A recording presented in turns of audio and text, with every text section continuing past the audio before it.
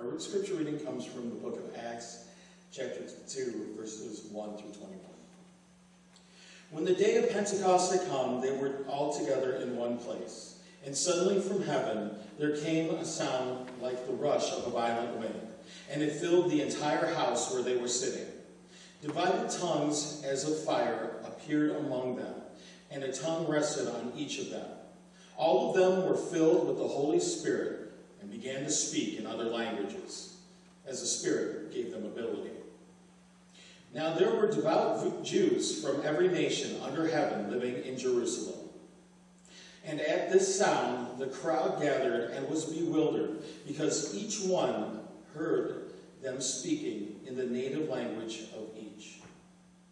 Amazed and astounded, they asked, Are not all these who are speaking Galileans?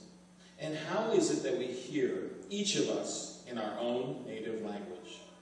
Parthians, Medes, Elamites, and residents of Mesopotamia, Judea and Cappadocia, Pontus and Asia, Phrygia, Pamphylia, Egypt, and parts of Libya belonging to Cyrene, and visitors from Rome, both Jews and proselytes, Cretans and Arabs. In our own language, we hear them speaking about God's deeds of power.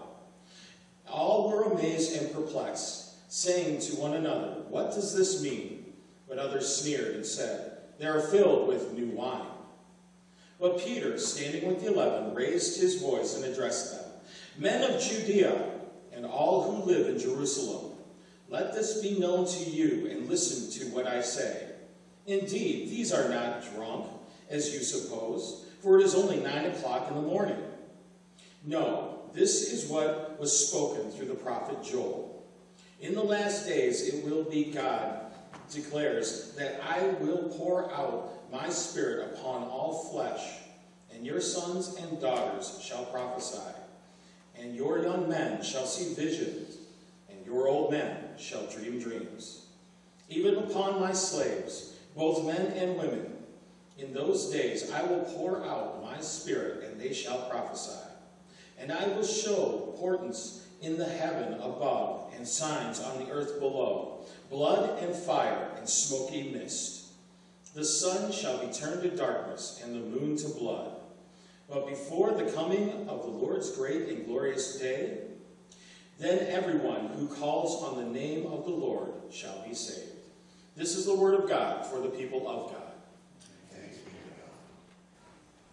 I thought we were done with sweaters. I really did. But here I am wearing a sweater because I'm cold. Been cold all day. Had to be out at the cemetery this morning at 8.30. Judy Justice has got me on one of these historical seminary walks, or cemetery walks, and I'm, I'm supposed to be the last surviving, um, last Civil War veteran. He died in 1938. His name was Samuel John Croft. and uh, so I've got this whole speech in my mind. You're not going to get it. I had to go out there this morning, and ever since then, I just can't get warm. But on the way home, uh, I was listening to uh, the radio, and one of the radio shows I like to listen to on Saturday mornings is a show called The Moth Radio Hour. It's a storytelling hour. and it goes all over the country and they invite people to tell stories. And it's not famous people, literary people, it's people like you and I that have stories to tell and they, they take these and they put them on. Uh, once in a while they're up in Ann Arbor. I've often thought it'd be sort of fun to go up there and, and uh, watch the, the storytelling. And a young woman that was telling the story today was telling the story about her dream of being a flight attendant and when she got out of school, she applied to become a flight attendant. And uh, she got her application accepted, so they sent her to flight attendant school, this airline. And at the school, she was so excited and so thrilled, she thought the idea of just jetting all around the world, serving people. She was a very bubbly personality, very, very, very, you could just tell by the way she was telling the story. She sort of had that infectious personality. And she says, it was so great at the, at the flight attendant school. Uh, the president, CEO of the airline came in and talked to us and said, you know, uh, uh, we can teach you how to evacuate a plane.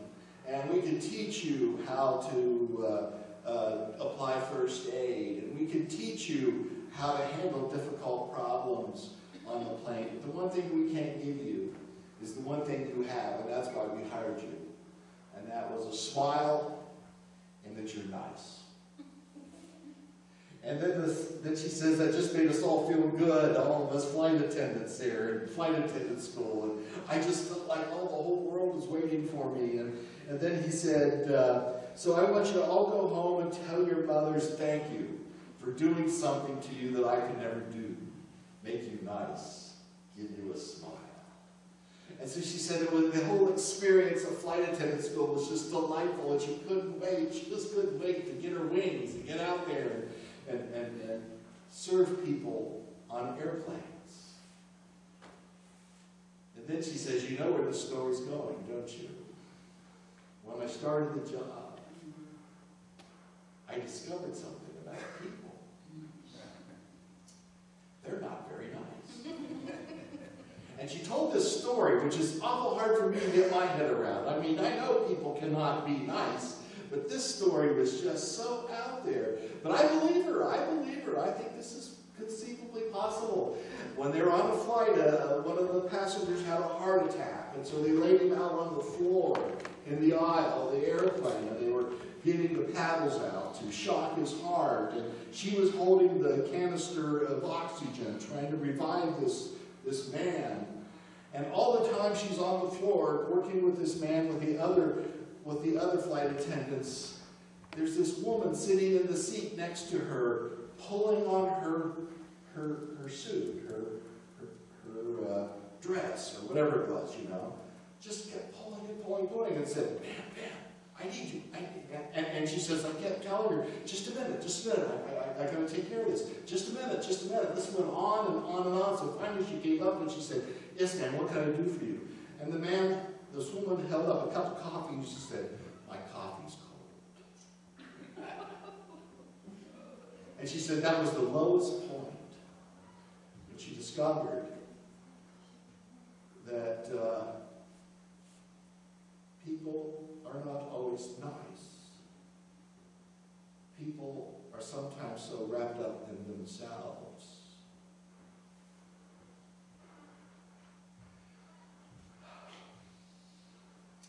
I chose the phrase intrusion to speak about the Holy Spirit. The wonderful little uh, video beforehand talked about it as a gift, and I believe it is a gift. That it's a necessary gift for us. Because I think it can be, the Holy Spirit can be an intrusion to us because one of the paradoxes of our faith is that what our faith expects of us is counterintuitive to what we are. We tend to be, as human beings, self-protective. Our faith wants us to be hospitable and generously caring of others. And that's a paradox. We tend to want to take care of our own needs. Our faith is always pushing us to watch over the needs of others.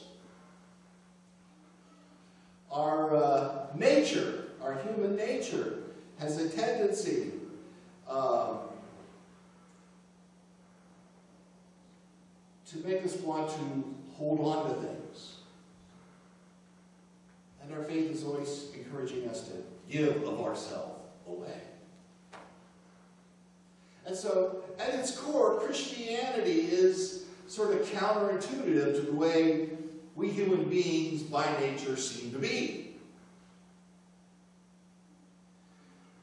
And on that airplane that this woman was describing as she was trying to revive this man with a heart attack, here's this woman trying to tug at her uniform, wanting her to get her a cup of coffee.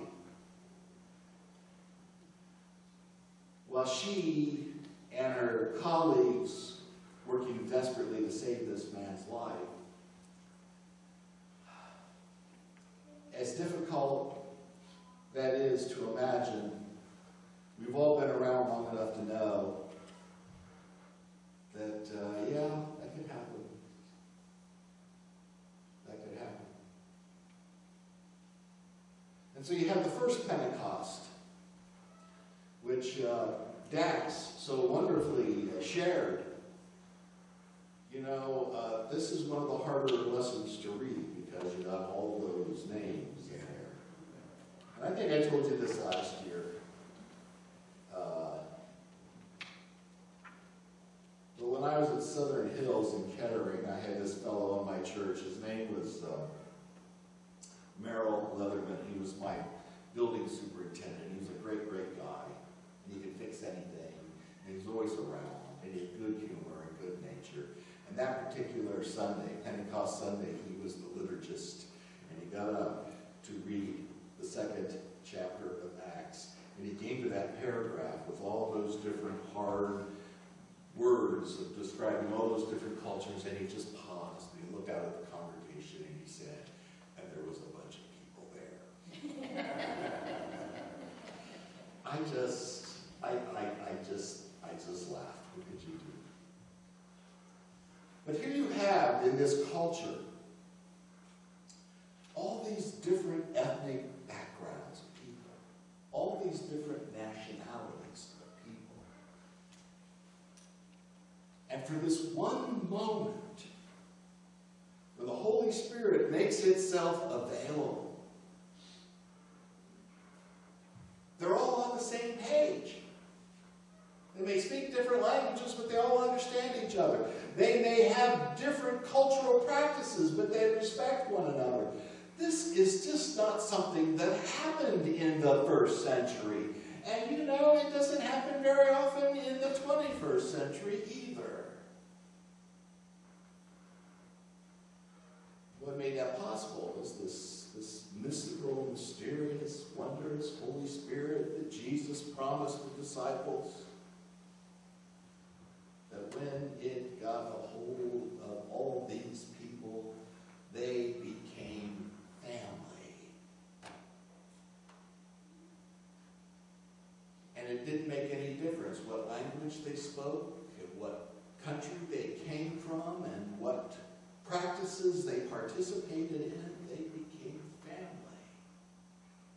And at that first Pentecost, the church receives its vision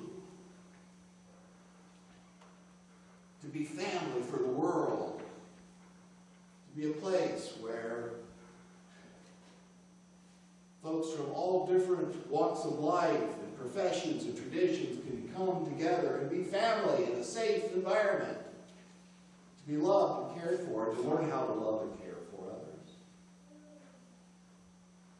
And again, that is so counterintuitive to who and what we are. And so the Holy Spirit can be somewhat intrusive, pushing us to go places we may not be comfortable going. Becoming something we may not be quite comfortable becoming. Exuding a spirit and a hospitality that we might not feel capable of doing. So even though the Holy Spirit is this wondrous gift, it can be intrusive in our lives. Intrusive, and I think in a good way. Because from time to time, we all need a little nudge in life. We just do. Because of our nature. I am always amazed when people who have not been attending a church walk into the building for the first time.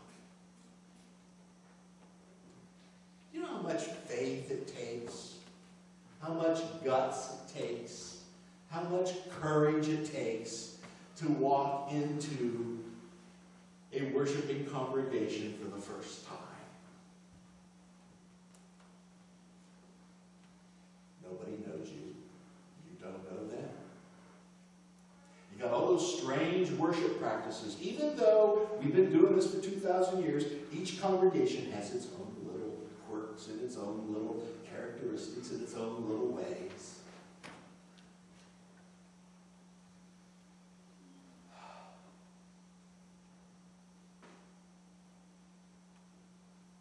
It's just an amazing feat, I think, when somebody decides they're going to go to church and walk in off the street. Because they don't know anyone. You have to have a whole lot of spiritual curiosity. You have to have a whole lot of desire to choose a course in life that is grounded in this holy mystery of Jesus' life, death, and resurrection. I just think it's an incredibly hard, hard thing to do. I've done it a lot.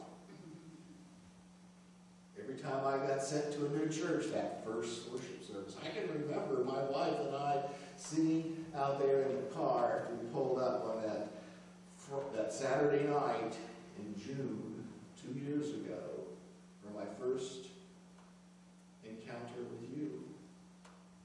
And you know, I'm a traditional guy, so I was really nervous because this contemporary praise stuff is just sort of foreign to me. And I was really nervous and really scared. I'd fall flat on my face. I'd do something stupid. I'd say something stupid. I probably did something stupid. I probably said something stupid, but it didn't make any difference with you. You know? I understand that. That's why it's so important that we in the church